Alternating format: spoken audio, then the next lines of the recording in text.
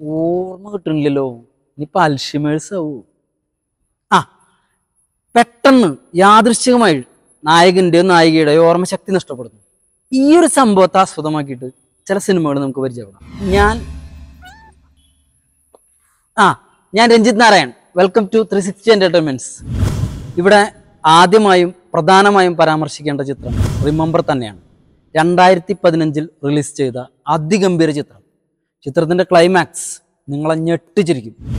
Memento Christopher നോളന്റെ സംവിധാനത്തിൽ രണ്ടായിരത്തിൽ release ചെയ്ത മെമന്റോ വളരെയധികം ദുരൂഹതകൾ നിറഞ്ഞ ചിത്രം. ചിത്രം കുറച്ച് ദുർഗ്രഹമാണെങ്കിലും വേറിട്ട ശൈലിയിലുള്ള മേക്കിംഗ് ആണ് ചിത്രത്തിന്റെ പ്രത്യേകത.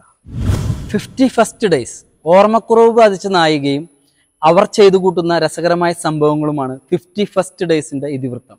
ചിത്രം കുറേയധികം ചിരിപ്പിക്കുന്നുണ്ട്. Bourne identity series memory loss ബാധിച്ച ബോണിന്റെ ആദ്യ ഭാഗം വെള്ളിത്തിരയിലെത്തുന്നത് ആയിരത്തി തൊള്ളായിരത്തി എഴുപതുകളിലാണ് തുടർന്ന് ഇങ്ങോട്ട് ഒരുപാട് സീക്വലുകളും റീമേക്കുകളും സൃഷ്ടിക്കപ്പെട്ടു. കാണാത്തവർ കണ്ടു നോക്കൂ. അപ്പോൾ ബൈ അടുത്ത എപ്പിസോഡായിട്ട് വരാം. അയ്യോ വീണ്ടും മറന്നു.